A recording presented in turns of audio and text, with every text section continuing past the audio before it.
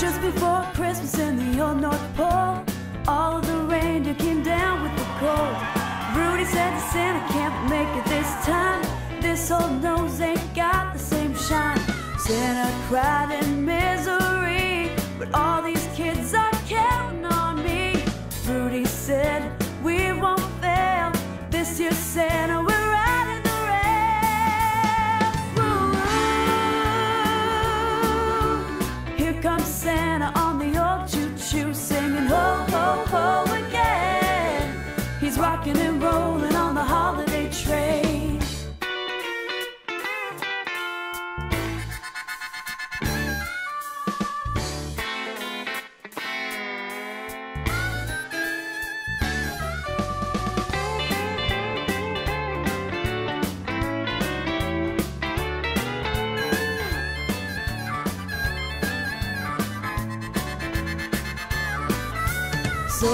Elves spent all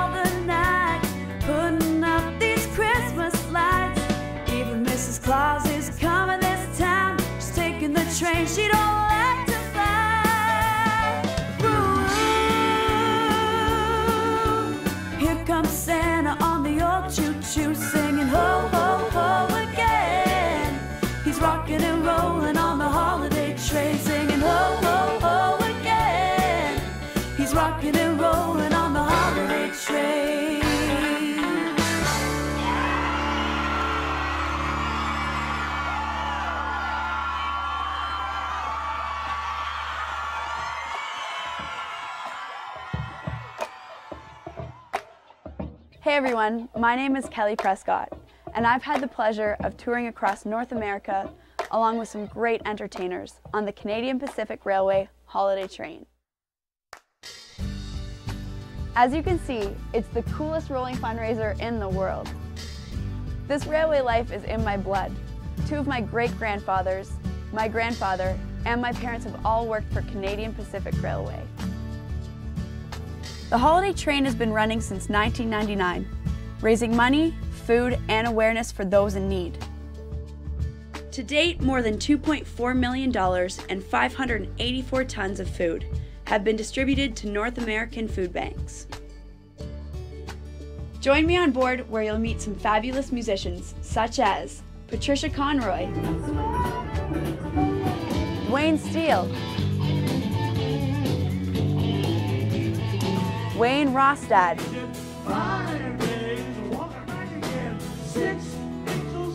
the Ennis Sisters, Amanda Stott, the Moffatts, John Cowan, Beverly Mahood, and Tracey Brown. Well, the holiday train is about to leave the station, so all aboard!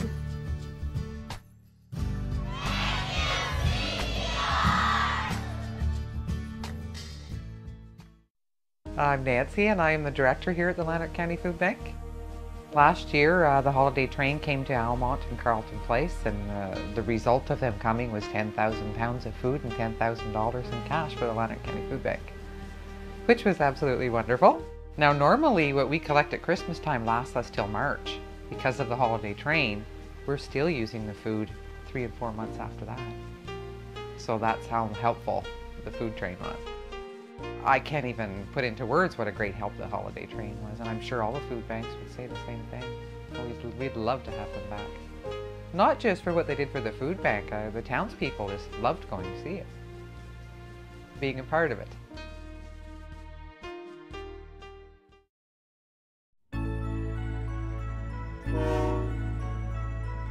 Holiday train journey actually begins 10 months before departure, right here in beautiful Calgary, Alberta, at the CPR head office. Here's Mark Sealand, Director of Public Affairs, to tell you more. Canadian Pacific Railway and its 15,000 employees uh, bring the holiday train to about 100 uh, or more communities in Canada and the United States. Uh, this is obviously developed quite vastly from the original project in 1999 where we had 14 stops uh, only in Canadian cities. It takes uh, several hundred Canadian Pacific employees to put this, uh, this project together from people in the shops, designing and decorating the light schemes, uh, people in, in operations design and, and our field operations groups to, uh, to plan the scheduling, manage our other trains around this, uh, logistics to have the train arrive at a publicly convenient place uh, in hours that are obviously dark and we'll highlight the lights. Uh, we have Canadian Pacific Railway Police Service, rail traffic controllers, uh, mechanical staff that uh, ensure the operation of the train uh, continues through in its spectacular format. Well, the holiday train really has come a long way in more ways than distance. Um, initially, there was uh, barely any entertainment, and as time went on, they plunked some speakers right on the floor of the boxcar, and a couple of park hand lights shining in like this, and um, we were playing to karaoke tracks basically. We had a CD in the back and we'd sing along to that because it was thought that the challenge of playing in the cold was too much. It just wouldn't work. The folks at CPR came to me and said, Would you be interested in producing the train? I was absolutely honored. And I said, Yes, on two conditions. Can we play our music live? Because I believe that audience standing out there in the cold deserves that kind of an effort. And secondly, can I step off of the stage and to fulfill my role as a producer, I need to look at the big picture, stand out there and see what's going on. How's it sounding? What's the crowd experiencing? And uh, they said, yeah, you can do both those things if you want to. And I'll tell you, it's been the best job I've ever had in my life. Duane Steele's another great uh, performer we've had on the train. I first met Duane in Nashville where he was uh, recording, and I was just blown away by his pure country style. Uh, we became good friends and songwriting partners. In fact, this song here was created right on the holiday train. Uh, we were somewhere in the Rocky Mountains and I had this idea and I went to Duane's room and uh, we started working on it. He jumped on it right away and uh, it, it, was so cool. And once again, he's the kind of guy that uh, just loves to get out and meet the people in the crowd, sign his autographs, and Duane Steele is the real deal.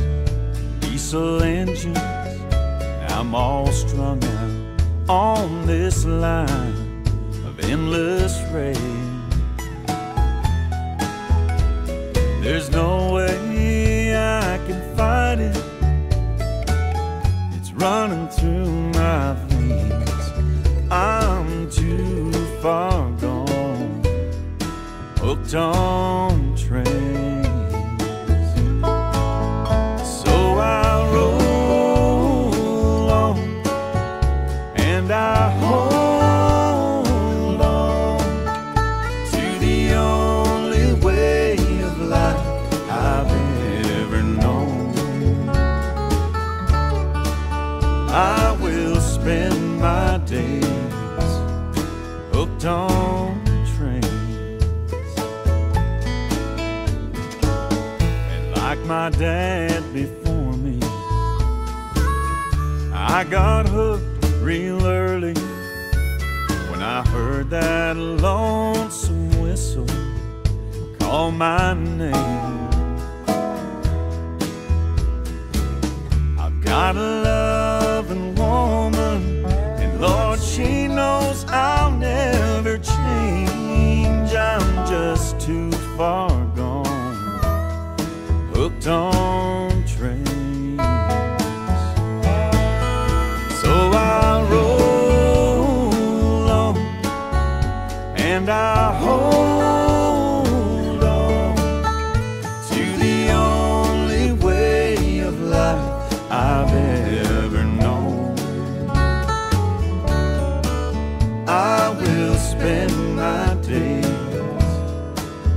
Don't train.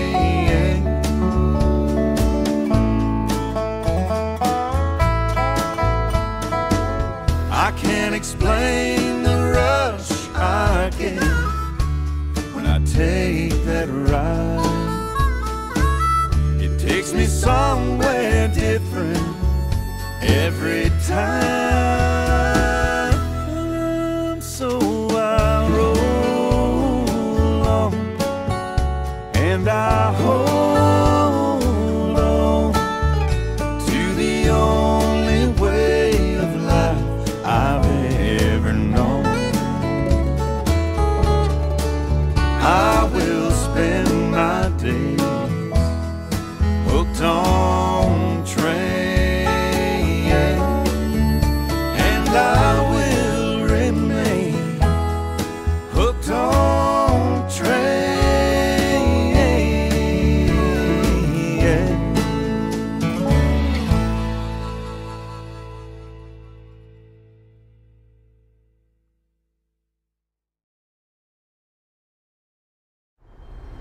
Hello, I'm Kevin Lopresti, electrical mechanical specialist with the Canadian Pacific Railway. Every year I design the layout of the Canadian and US holiday trains. Uh, this is a big project and we um, encompasses approximately 70 days from the start to finish, um, early October to December when the, the trains roll out of Montreal and, and St. Paul.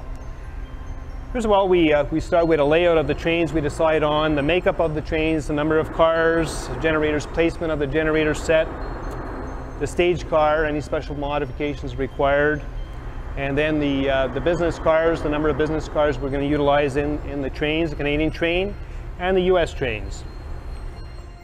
Hi, my name is Ron Pierce. I'm manager of operations Saratoga, New York with Canadian Pacific Railway. I'm here in Montreal with some of the past presidents of CPR. I'm with field operations and basically manage our trains and their over-the-road uh, functions. And with the holiday train, I work, uh, verify the schedule, and uh, make sure it gets across uh, the Northeast U.S., New York, and Pennsylvania in a timely fashion. Well, the holiday train uh, means to me and my fellow American employees a way to give back to our communities that uh, support us throughout the year by bringing in donations to the local food banks and helping people that could use a little extra hand at the holiday time.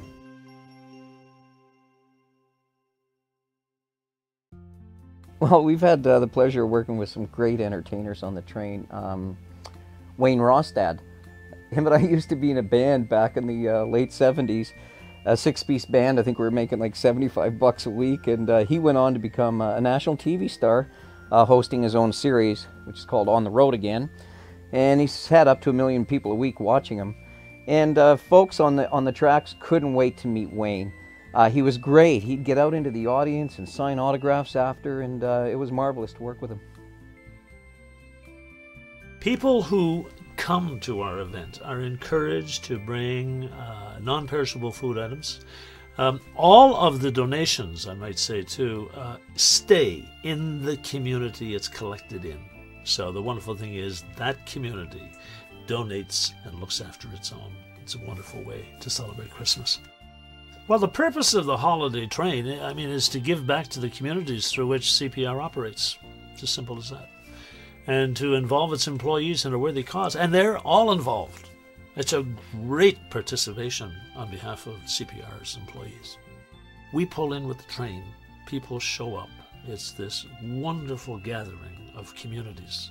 And they're there with foodstuffs in hand, children in arms, cash in hand, all to help their own communities. The money collected in each community stays there. So it's a great way to say Merry Christmas to your own community. So what we ask people to do is to bundle up, take the kids, and uh, bring some non-perishable food items. If you wish, bring a cash donation. Come say hello to Santa Claus and come and see this spectacular train. Christmas on the CPR. Amanda Stott is an amazing singer. I mean, she's uh, joined us several times on the train, and she's a great team player and a gracious host, as you can see. You can also tell that she's from the new generation. We were uh, rehearsing Supertramp's song Give a Little Bit for a performance, and uh, check out what she said. Who's Supertramp? oh, man!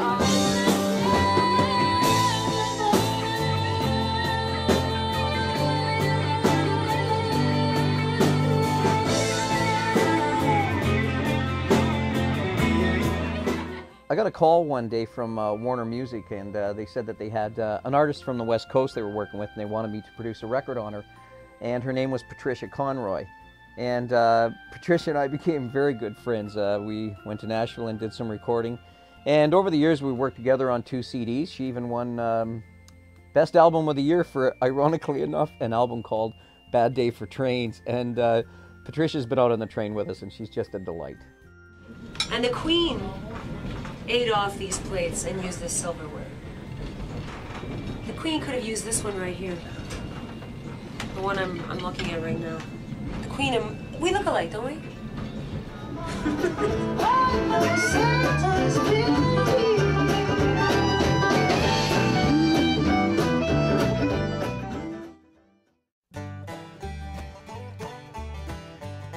The U.S. train starts its tour in Scranton, Pennsylvania, heading out on the Northeast U.S. line through New York State and back into Canada. with shows in southern Ontario. Then we cross the border back into America and travel under the Great Lakes to Illinois. Can you hear that whistle blowing? Can you see those pretty lights? There's a train coming on a cold winter's night. Let's get down to the station. The band's gonna entertain.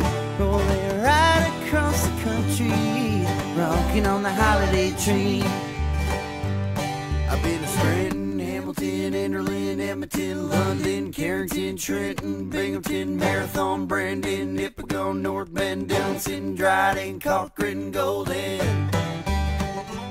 From Chicago, the tour continues through the Midwest into Wisconsin, Minnesota, North Dakota, and then our last day of shows in Saskatchewan.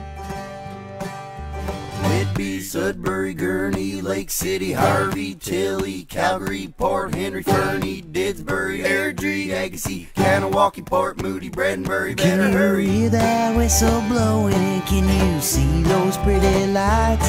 There's a train coming on a cold winter's night. Let's get down to the station. The band's gonna entertain, rolling right across the country rocking on the holiday train. Moose Jaw, Honey on a Wauwatosa, Minnedosa, Madawaska, Kenora, Regina, Panola, Winona. It ain't far to Sparta, Ticonderoga, Saratoga, Minot, why not? Bonjour, mon nom est Michel Spanard du chemin de fer canadien Pacifique. Je suis ici aujourd'hui pour vous raconter l'histoire du train des fêtes. The Canadian tour begins in Montreal, heading west through Ontario, Manitoba, Saskatchewan, and into Alberta. Cobleskill, Belleville, Bowmanville, Notch Hill, Montreal, St. Paul, Whitehall, Smiths Falls, Buffalo, Cottage Grove, Toronto, Loretto, Chapleau, Lacolle, Old Tay, let's Where go! Those pretty lights are fading down the track as we all cheer. Well, they're off to see the next town. They'll be back again next year. Helping out the hungry all across the land bringing smiles, frowning faces. Gonna lend a helping hand, bringing smiles to frowning faces. Gonna lend a helping hand. All aboard,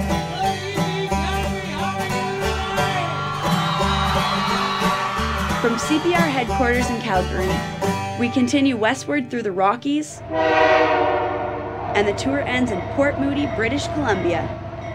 Hello, Port Moody! Are you looking good?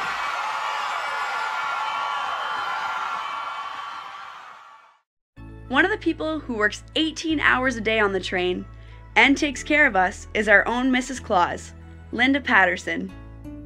I've recently retired from Canadian Pacific, and uh, but I still really want to be involved with the holiday train because it's it's something that is is very special to me. I love to help people, and I love to have uh, the opportunity to go out into the various communities and see the reaction that people have towards Canadian Pacific. Uh, I worked for CP for a long time and I have a lot of pride in the company that I worked for. And this is um, the, one of the reasons why that I feel that the holiday train is something very positive and uh, that is needed in a lot of communities.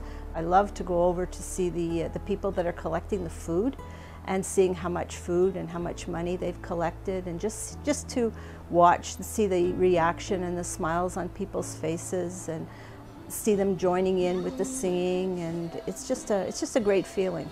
We do have uh, CP employees and their families that come on board. Uh, oftentimes it's, it's used as a recognition for employees. Uh, other times in, in a town you might have a, a special hockey team that has done something or um, perhaps some special children that are, that are in the community that um, maybe can use a boost by the holiday train. They've often referred to the coach as the Polar Express. They get on the coach and wow, just like the Polar Express. And, and that, you know, it makes all the work that you do so much more rewarding because, you know, somebody's really uh, appreciating and enjoying what you're doing and it doesn't matter how long the hours are in a day. It just is a really good feeling. One of the highlights was being able to tour with the Moffatts on the holiday train for a couple of years. We had so much fun hanging out and writing together. Here now is one of the songs written while on board. It's called Hang On.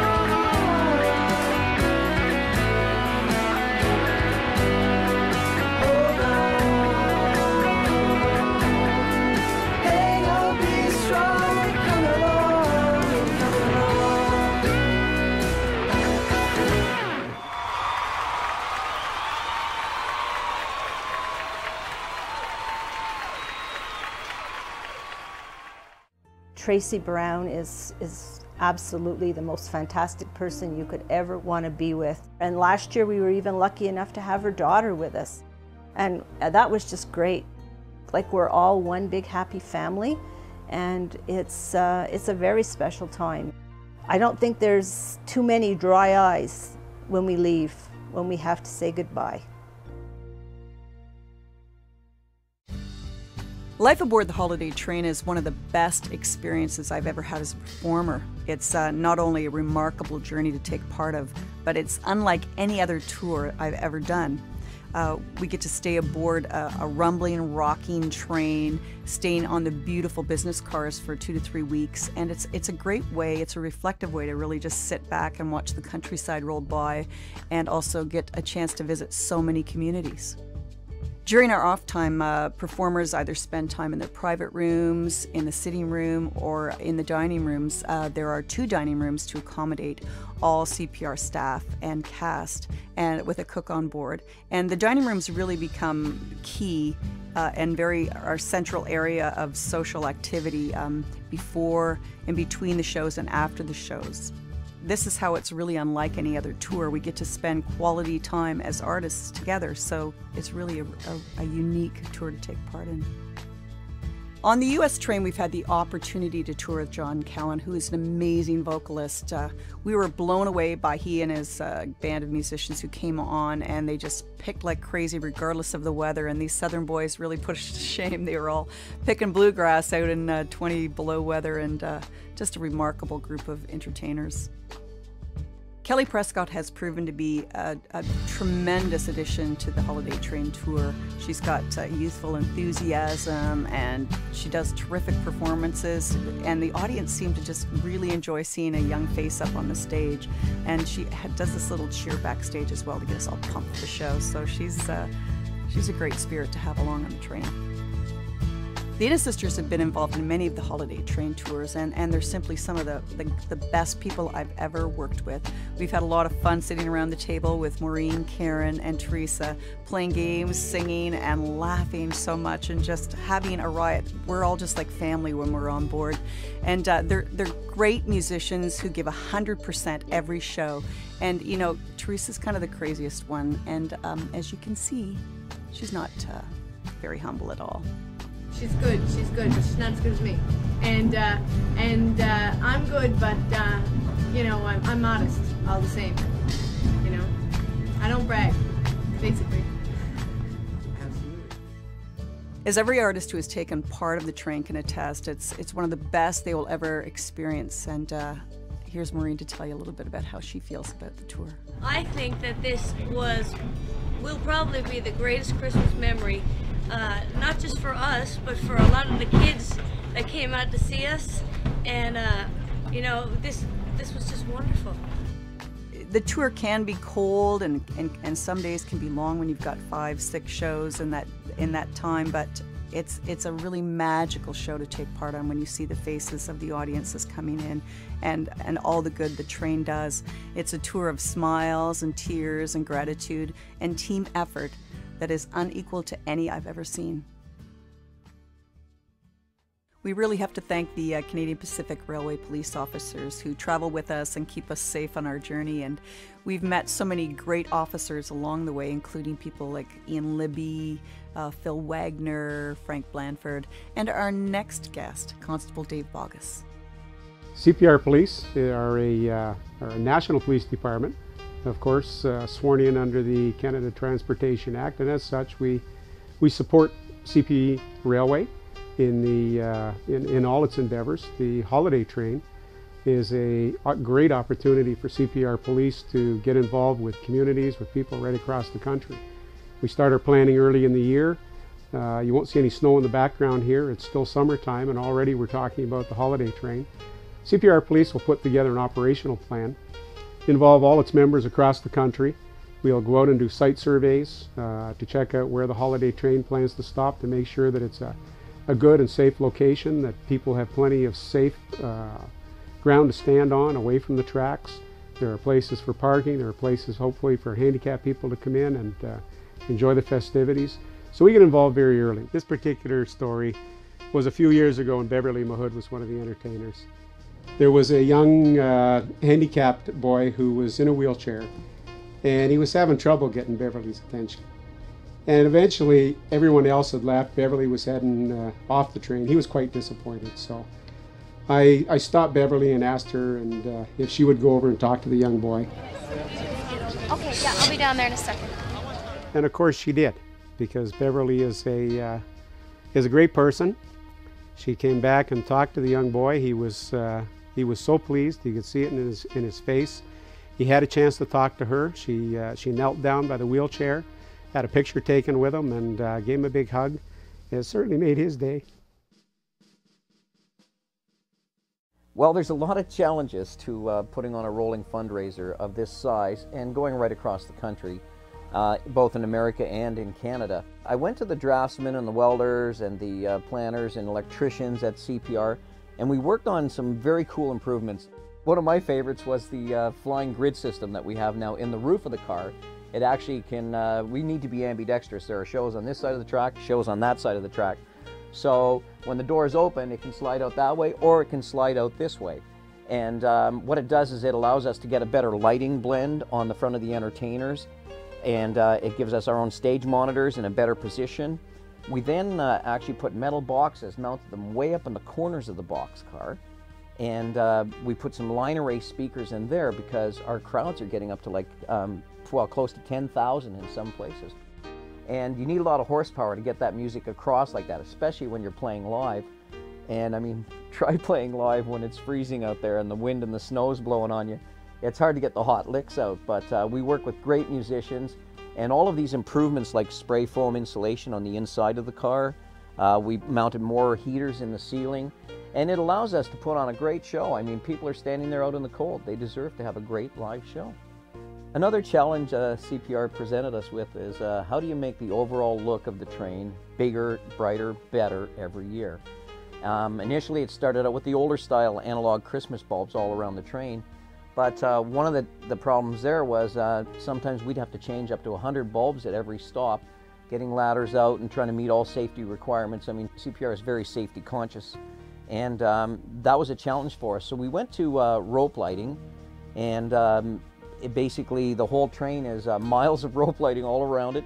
This year we're using LED rope lighting, and it gives it a real bright, rich look also. It's different than the older look, and um, someday we may go back to that.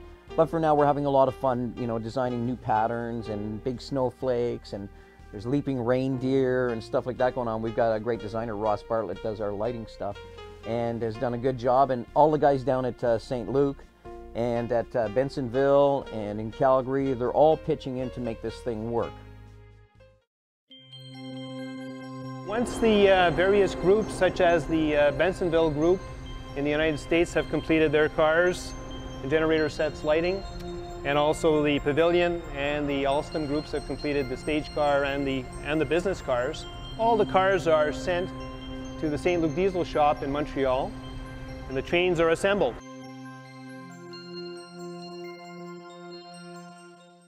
These guys behind the scene are, are who we like to call our unsung heroes. And uh, first of all, there's Kenny Post, who um, not only does the stage setups for both cars, but is the head tech and musical director on the US train, as well as handling backup vocals and percussion. Mike Norman is our musical director for the Canadian tour. He uh, keeps us laughing. One star shining in two shepherds, one three wise men. Train, holiday train. It was a love train, oh, a loving train. A lot of loving going on. Well, super loving.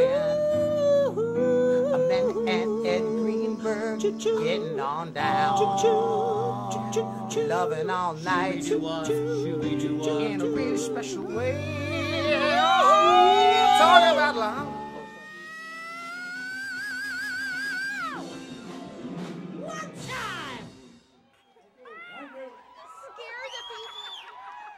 Steve Petrie uh, not only plays blazing solos, but he's always the first one to the door to open them up and get the whole show running.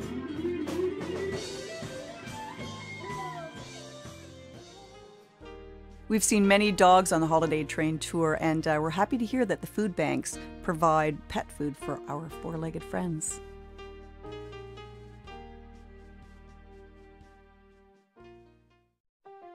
Well, talk about uh, getting into the spirit of the season early. Um, we get to see thousands of kids all across the continent staring in amazement as we pull into town. Uh, we've got a cool rapping Santa that fires up the show, and the kids are rocking to the tunes. Uh, this one little girl, though, captured everyone's attention, and it was the CP police that came over and said, Come and look at this girl. So we got over there, and she had unlimited moves. She was having the time of her life. She didn't care who was watching.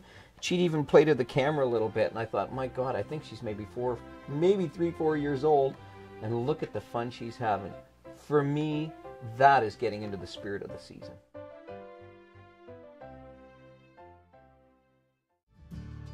Well, I hope you've all enjoyed your journey here on the holiday train. Happy holidays, and we'll see you next year.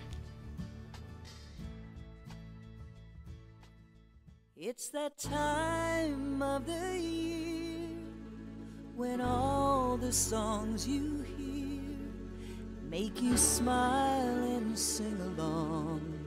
And it seems like nothing's wrong.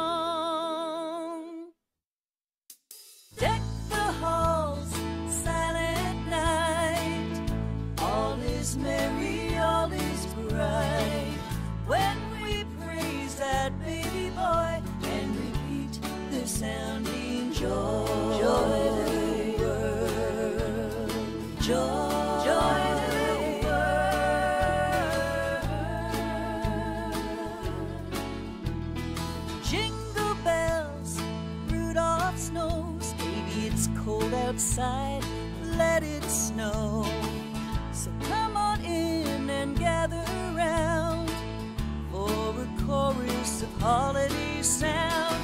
Deck the halls, silent night. All is merry, all is bright. When we praise that baby boy and repeat the sounding